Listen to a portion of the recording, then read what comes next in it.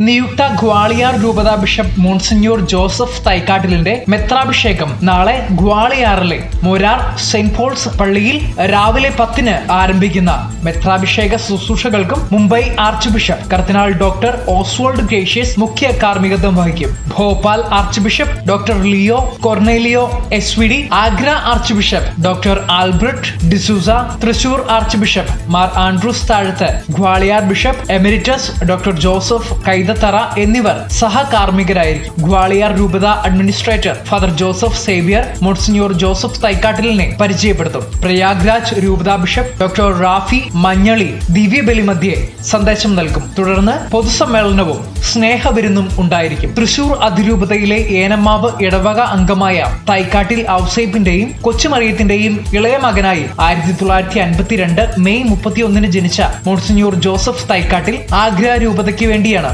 തിരുപ്പട്ടം സ്വീകരിച്ചത്. ഇക്കഴിഞ്ഞ മെയ് മുപ്പത്തിയൊന്നിനാണ് ഫ്രാൻസിസ് മാർബപ്പ ആഗ്ര രൂപത വൈദികനായ ഇദ്ദേഹത്തെ മധ്യപ്രദേശിലെ ഗ്വാളിയാർ രൂപത ബിഷപ്പായി നിയമിച്ചത്. അന്ന് അവധിക്കായി തൃശൂരിലെ വീട്ടിൽ വന്നിരുന്നതിനാൽ തൃശൂർ അതിരൂപത മെത്രാപൊലീത്ത മാർ ആൻഡ്രൂസ് സ്ഥാനത്താണ് സ്ഥാനചിഹ്നങ്ങൾ അണിയിച്ചത്. News desk Christian Times.